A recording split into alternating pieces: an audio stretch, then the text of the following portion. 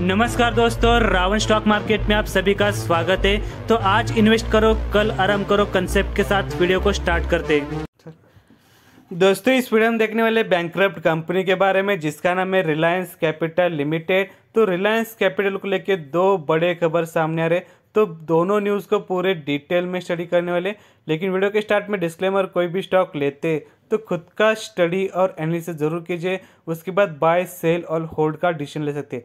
जैसे कि जो रिलायंस कैपिटल जो कंपनी आप लोगों को पता रहेगा बैंक हो चुकी है और एनसीएलटी में एडमिट है तो इसके ऊपर यहाँ पे रेशन प्लान पास करने की कोशिश की जा रही है। तो अभी तो जो पुराने लोग हैं, पुराने छोड़ रहे इनकी तो होप एक ही बात पे वो है रेशन प्लान अगर रेशन प्लान सक्सेसफुली पास हो जाएगा तो मे भी यहाँ पे आगे जाके उनका ही लॉस रिकवर हो सकता है। लेकिन उसमें और एक कंडीशन रहेगी और रहेगी कारपोरेशन इवेंट तो इसमें क्या होता है, जो पुराने छोड़ रहे उनको go एक के बदले एक शेयर देना है, या फिर एक के बदले ज़ीरो शेयर देना है, ये डिस्कशन किया जाता है। अगर एक के बदले एक शेयर मिलता है कारपोरेशन में तो मे भी उनको थोड़ा बहुत यहाँ पे पैसा मिल सकता है, लेकिन एक के बदले ज़ीरो शेयर मिलेगा तो उनका पूरा कैपिटल ज़ीरो भी सकता है। तो रिस्क और रिवॉर्ड का रेशियो अभी तो फ़िलहाल सेम है तो आपके ऊपर डिपेंड है कितना पैसा लगाना है, कितना पैसा रखना है।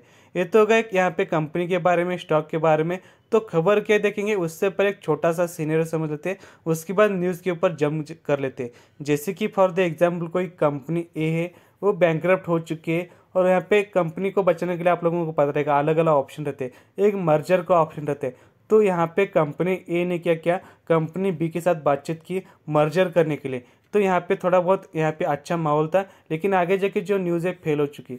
तो क्या हो जाएगा? इस केस में कंपनी को थोड़ा बहुत झटका लगता है। तो सेम सीनियर यहाँ पे रिलायंस कैपिटल के लिए हुआ है। तो क्या है? जैसे कि रिलायंस कैपिटल के अंडर अलग अलग बिजनेसेस आते हैं। जैसे कि रिलायंस होम फाइनेंस है रिलायंस निप्पॉन लाइफ इंश्योरेंस है रिलायंस सिक्योरिटीज़ है रिलायंस कैपिटल फाइनेंस लिमिटेड है। ऐसे लगभग 10 से 12 सब्सिडीज आते हैं रिलायंस कैपिटल के अंडर। तो जो मर्जर होने वाला था, यहाँ पे होने वाला था रिलायंस निप्पॉन लाइफ इंश्योरेंस के साथ। तो यहाँ पे आप लोगों को पता रहेगा, यहाँ पे आदित्य बिरला कैपिटल जो कंपनी, यहाँ पे निप्पॉन लाइफ के साथ यहाँ पे डिस्कशन करे थे मर्जर करने के लिए बीच में, पिछले हफ़्ते। लेकिन यहाँ पे ऑफिशियली बोल दिया है, किसने बोल दिया है? जो निप्पॉन लाइफ इंश्योरेंस कंपनी जो जापान बेस्ड कंपनी इन्होंने बोला कि मर्जर नहीं होगा। तो बहुत ही बड़ा यहाँ पे झटका देने वाली बात है किसको? रिलायंस कैपिटल को। लेकिन एक होप थी यहाँ पे एक बड़ी कंपनी यहाँ पे मर्जर हो सकती थी रिलायंस कैपिटल की, जो सब्सिडीज है निप्पॉन लाइफ इंश्योरेंस का था, वो होप टूट चुकी है। तो यहाँ पे ये तो गया पहला ब्रेकिंग न्यूज़ दूसरा ब्रेकिंग न्यूज़ के, जैसे कि आप लोगों को पता रहेगा स्टॉक मार्केट में अलग अलग इन्वेस्टर थे कुछ लोग यहाँ पे बॉन्ड के थ्रू यहाँ पे इन्वेस्टमेंट करने की कोशिश करते हैं।